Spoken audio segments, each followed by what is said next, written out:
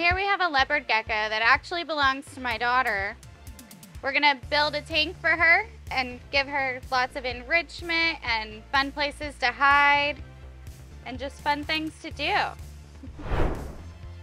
So this is actually our gecko background made for a 20 gallon long tank. This one we cut down a little to fit into this 15 gallon tank. It has an, a lot of really nice detail to it. It even has a bowl right here on it, which is great. So if you have a background that you just really like, but it's not quite the right size that you need, just let us know and we can cut it down to the size you need. You can just put it in the comment section at checkout. If we can't do it, we'll always contact you and we'll try to help you out and figure out the best way to make it work for you. Installing it right into the top of the tank. We cut it down to exactly the size that we needed for this tank. So I just gotta shimmy it a little and it fits perfectly. So you can leave it as simple as this. You can also use our color kit and go along the side and add some silicone. You can add substrate, you can glue it into the back. For this, I'm just going to add a little bit of substrate to the bottom so it's not straight glass.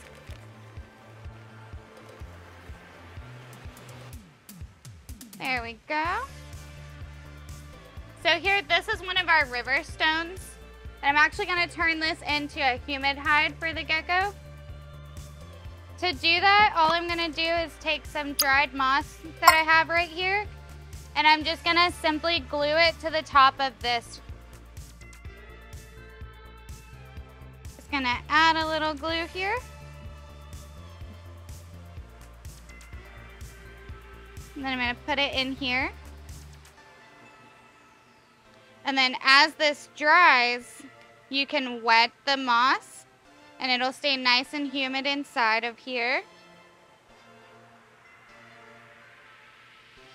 So we're gonna let that dry for a moment. You can leave this background just like this. You can add some rocks, some other decorations that you wanted to. Because we have this really nice detail right here that sticks out this way, it actually leaves a void back here. I'm just going to carve a little hole right here and I'm gonna turn this into a hide itself. This is the area that I really want her to stay in, but I don't mind her going to this side.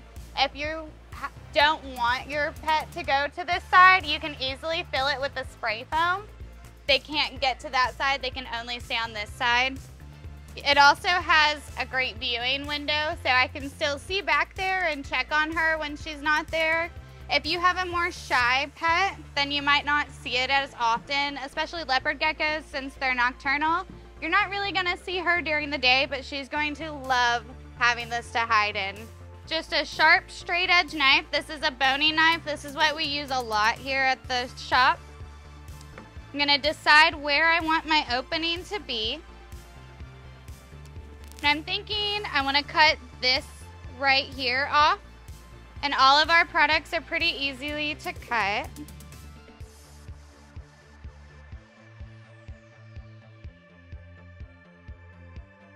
So now we have this little opening into this little cave area.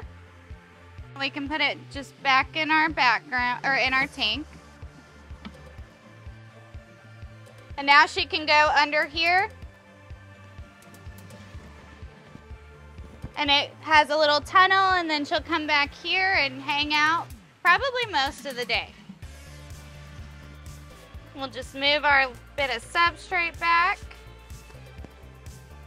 Okay, and now that my Humid Hide Rocks moss has dried in here, I'm just gonna create a little opening in this one as well.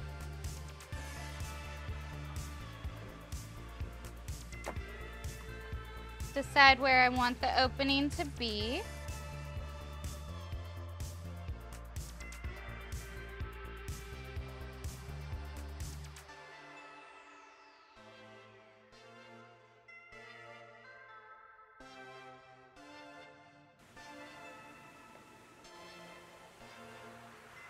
We'll wet that here in a minute. And then it already has a bowl. You can use it for water. You can use it for the calcium powder for them. Um, you can put their bugs in it, but they're gonna come out. So it's kind of up to you. Just keep an eye on them. Let's see how she likes it.